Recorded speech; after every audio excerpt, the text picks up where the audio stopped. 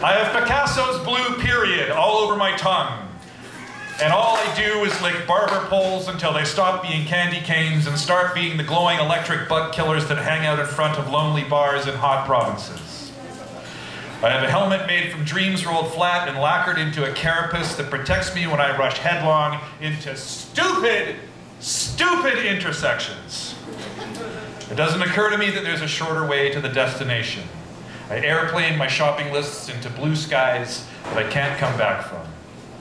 To say that my heart is a parachute would be accurate. It only opens when it's falling.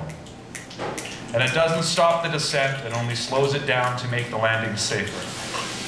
I wish I could get taken away by aliens and brought back a better person.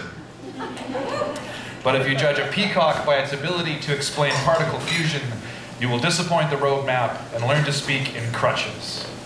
So the bed springs of your lips leave me wanting to test the tensile strength of honesty. You bend me like sound waves through a speaker. I'm a frat party balancing on a stool in a closet, and you're the avalanche pinned behind the starting gun. If this is a staring contest, I'm all out of eyes. Because I'm old. Sometimes the ghost of me arrives. I'll be sitting in a coffee shop, hanging out in a bar with friends, even reading a book by myself at home, and there's a feeling I get when I know that that guy, that yesterday me who really knew me, would know how much fun I'm having, and then it makes me sad because now I'm the only person who knows. It's like rocking out to Sabotage and then remembering that one of the Beastie Boys is dead. But this isn't about my sadness or the idea that I'm lonely because I'm not. I'm not. it's just that when young me breezes in, it's unexpected. I'm happy to see him, but I feel a little tainted that he chose such good times to show up again. I miss him so much. I miss him to the point that I wish I'd never been him, but just for a second. He crosses my mind and it's a stroke across my heart from a cold midlife crisis paintbrush. Younger me was a douchebag!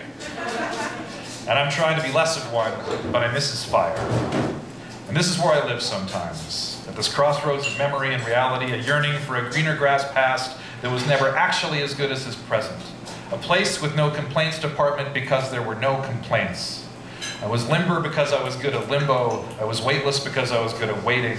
Lightning didn't kill me because I was a better conduit than I am now. But my worshipping of who I used to be, romanticizing youth, is a lying, rose-tinted telescope held backwards, making my younger self look farther away than I really am. Yeah.